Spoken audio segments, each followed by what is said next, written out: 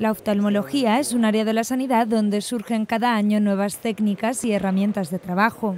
Es muy importante no solo el reciclaje de la enfermería, sino también el papel investigador y, y evolucionar en cuanto a las últimas actualizaciones médicas y, técnicas, y sobre todo en el campo de la oftalmología, que es un campo que está en constante evolución. Para ponerse al día, la Asociación de Enfermería Oftalmológica de la Comunidad Valenciana celebra un congreso anual que ya cuenta con 13 ediciones. Este año tenemos un amplio abanico que abarca todo el proceso de atención del paciente de oftalmología, desde la consulta hasta UPSI, quirófano, técnicas de esterilización, seguridad, que está muy en auge, y un tema que, eh, que está ahora muy novedoso, que es la cirugía en 3D.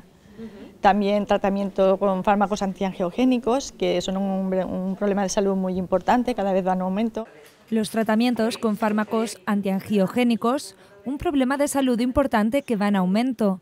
Las lentillas o el acompañamiento pediátrico en la cirugía oftalmológica han sido otros de los temas que se han abordado. Un congreso en el que la participación con pósters científicos va creciendo.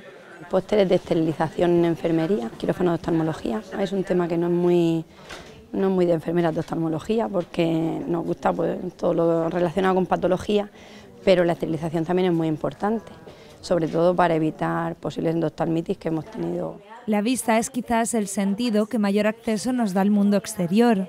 En este congreso se ha hecho un repaso por las principales alteraciones visuales que tuvieron conocidos pintores a lo largo de la historia.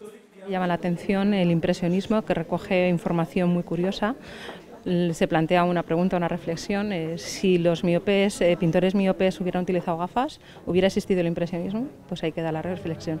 Algunos pintores condicionó, condicionó su forma de pintar, otros decidieron no seguir pintando y otros directamente convivieron con su problema de salud. Algunos ejemplos los encontramos en Monet, quien padecía cataratas, mientras que Renoir y Cézanne eran miopes. Miradas que dieron al arte otro punto de vista.